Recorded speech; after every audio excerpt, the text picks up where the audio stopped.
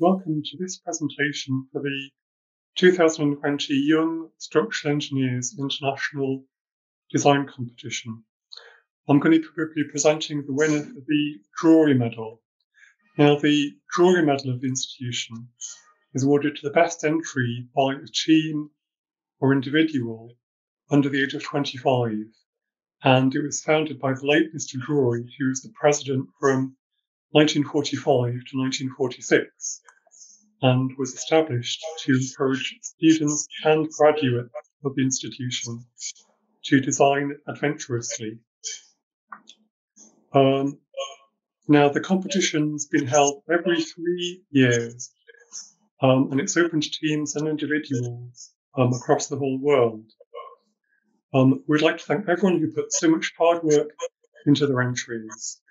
Um, there were over 200 entries for the competition, which is the most ever. And um, let's hope that the competition continues um, to get bigger. Um, a brief I put together um, for this uh, competition was to design for a climate changing climate. And this looked at the fact that sea levels are predicted to rise by one to two meters by the end of the century. Um, the people who are going to be most affected by this are going to be those who live in low-lying areas um, who are predominantly the poorest members of society. Uh, they depend on the sea and the rivers for their livelihood. The locations to be used for the competition um, are what are known as the um, least um, developed uh, countries. And the um, challenge was to design a community settlement for 100 people um, taking a, phased approach um, the idea was um, by rebuilding where they live, it would allow them to continue with their way of life. Now, the designs had to minimize costs, had to ideally use local and sustainable materials.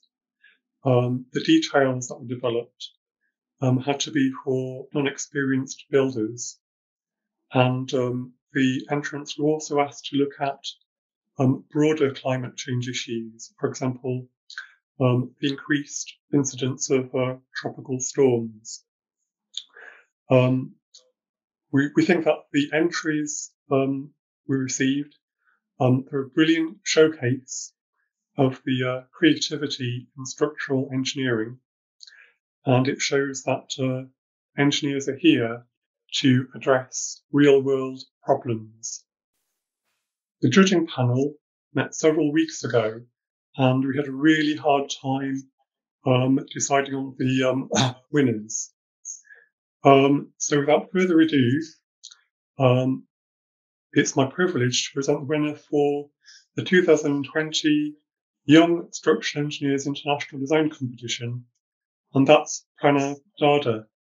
Um, we really liked um, scalable modular design because of all of the thought that went into the design and its simplicity. And all of the judging panel um, praised the research he'd put into it and the concept as a whole. Um, the presentation was excellent. Now, Pranav's design was for a site in Bangladesh where 80% of the land mass is in a floodplain or coastal, and 18% of the country is flooded annually causing loss of life and a lot of disruption to the country. Um, we liked um, the design because it uses locally available materials with details that can be put together without needing much specialist uh, construction knowledge, which um, nicely fulfills the brief. So over to you, uh, Pranav.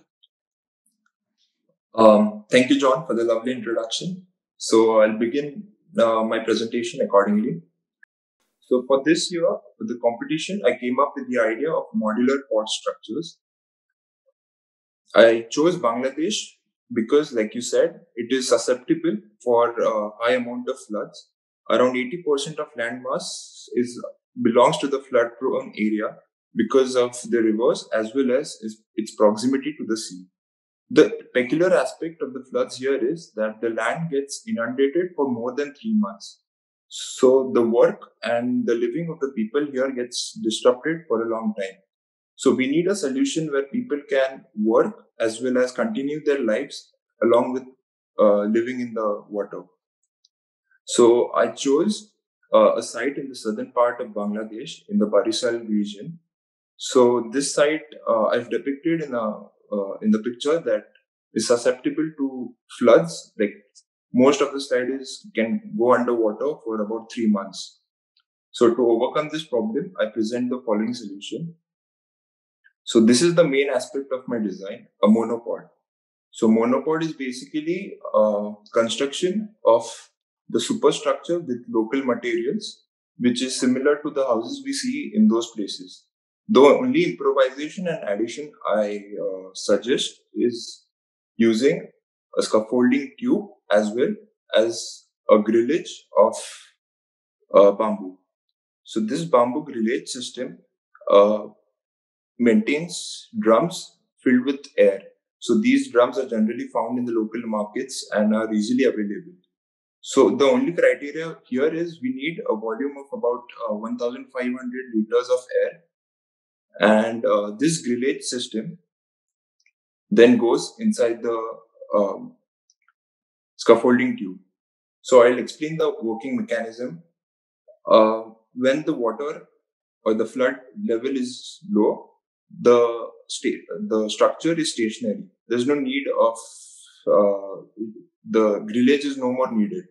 But if the water level increases, the grillage system, along with the drums, uh, due to the buoyant forces, uh, ra- raises according to the water levels.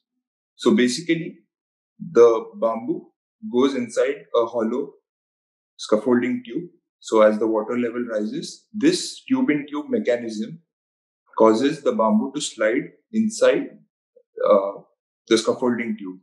This solution is perfectly suitable for sloping plains because for hilly regions, stilts are a good option, whereas for flat planes, a simple floating device works. But for sloping planes, we need a combination of both because uh, uh, floating material cannot sustain on sloping planes. So a combination of stilts and a guiding pole came with a unique uh, option of using scaffolding tube as a stilt and a guiding pole. So the structure behaves as a amphibious style structure.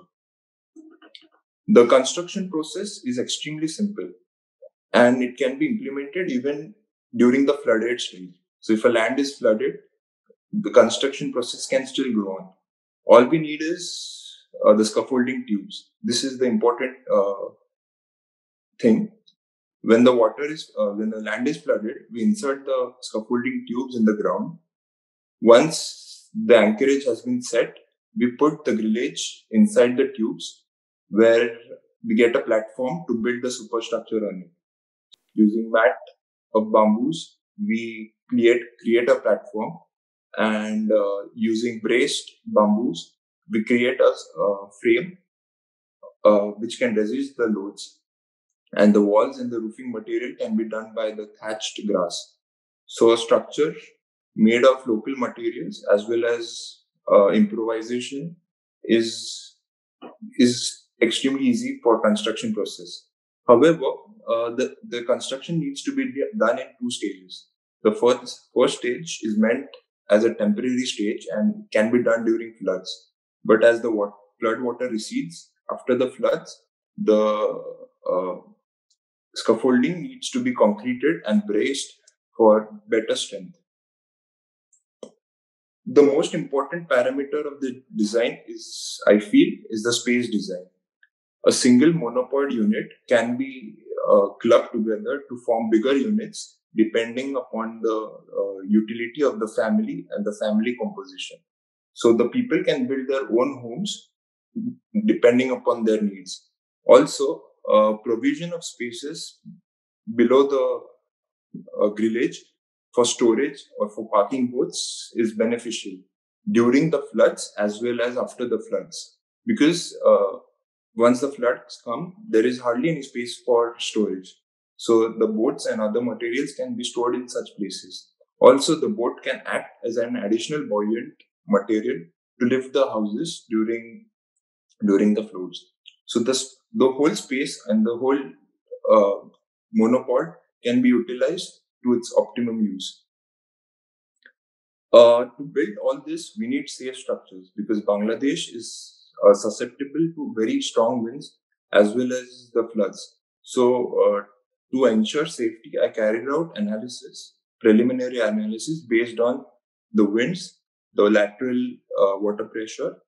I calculated um, the buoyancy requirements so that the structure can take up the wind loads as well as the self and the gravity loads.